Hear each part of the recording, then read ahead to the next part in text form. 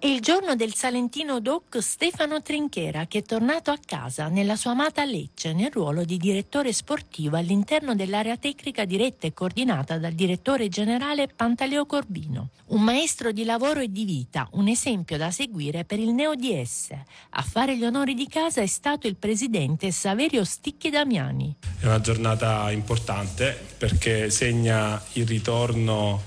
a casa di Stefano Trinchera, un ritorno a casa cui, per cui noi siamo davvero felici. Stefano è stato, siamo legati a lui oltre che da grande stima, eh, da grande affetto e da un ricordo bello di un primo anno passato insieme il nostro primo anno nel, all'interno del calcio. Stefano è stato il nostro direttore sportivo in una stagione complicata perché era la nostra prima stagione nel calcio in cui ci fu un avvicendamento societario nel corso della stagione. Fu un nome che scegliemmo convintamente già, già ai tempi, eh, visto l'amicizia che mi ha sempre legato a, a Pantaleo Corvino, ci confrontammo un po' su quale potesse essere una figura da poter um, affiancare nel nostro progetto e già in quella sede ci fu emerso il nome di Stefano Tenchera, che era ai tempi un giovane direttore sportivo eh, all'inizio della propria carriera. L'ex DS del Cosenza, nativo di Copertino, classe 74, si è legato al club di via Colonnello Costadura con un contratto fino al 30 giugno del 2023. Come se fosse la prima volta, invece,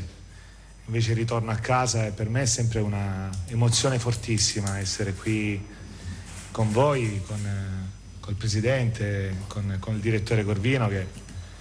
insieme hanno sposato diciamo, questa, questa, mia candidatura con, con, tutta la proprietà. E questo mi inorgoglisce veramente, è un motivo di vanto perché eh, io sono leccese, però Lecce è una, una grandissima piazza apprezzata da, da tutti gli addetti ai lavori, ha una storia eh, che ha un grande blasone, quindi per me pensare di essere un tassello importante in questa, in questa società è veramente un qualcosa di, di straordinario, di, di, di,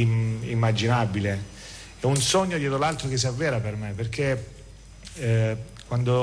ho iniziato a fare questo lavoro speravo un giorno eh, non di emulare, ma quantomeno di avvicinarmi eh, così alla alla professionalità, allo stile di, di, di Panteleo Corvino, non è che adesso voglio fare una, una sviolinata assolutamente, ma lui io lo considero un maestro e è uno dei dirigenti, se, se, non è, se, non il più bravo d'Europa, ma io lo considero uno dei top, quindi per me arrivare a lavorare al suo fianco con una società molto vicina a me, con cui ho un legame fo- così forte da quando siamo partiti cinque anni fa, per me è un, come ho detto prima, un motivo di grande vanto e, quindi è un motivo in più per, per, per, sposare la causa, per essere invogliato a fare meglio. E sulla rosa poi dice la sua. Io sono operativo da pochi giorni, no? eh, però col direttore che ha tracciato le linee guida da quando è cominciata questa nuova stagione sportiva, eh, preso atto, noi abbiamo le idee chiare, manca poco perché già c'è una struttura di squadra eh, abbastanza competitiva eh, e di riflesso gioco forza qualche uscita ci sarà. E quindi il messaggio che deve arrivare a voi è che comunque non facciamo le cose tanto per fare, perché questa è una società di gente che ha grande passione per, per questa maglia, grande passione per questa terra e ha un grande rispetto per, per la propria tifoseria. La parola passa poi al direttore Pantaleo Corvino, molto entusiasta di aver riportato Trinchera in giallo-rosso. Io per raggiungere, come ho detto prima, obiettivi e risultati mi avvalgo così di un mio modello. L'ho avuto vicino quasi sempre, sono 30 anni che stiamo prima da giocatore, poi dopo diciamo che io non mi, non mi esento, anzi per me è un onore è un privilegio poter dire di essere cresciuto davanti a Mimmo, vicino a Mimmo Cataldo